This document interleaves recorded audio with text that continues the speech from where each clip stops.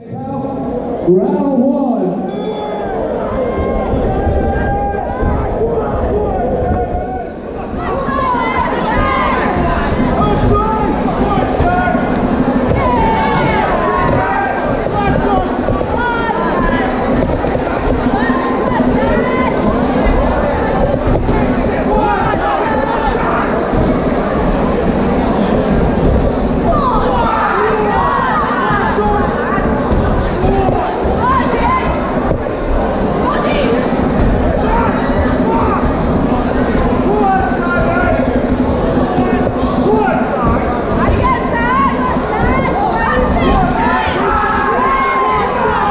So you see the police guys taking the people who stand behind you can't see.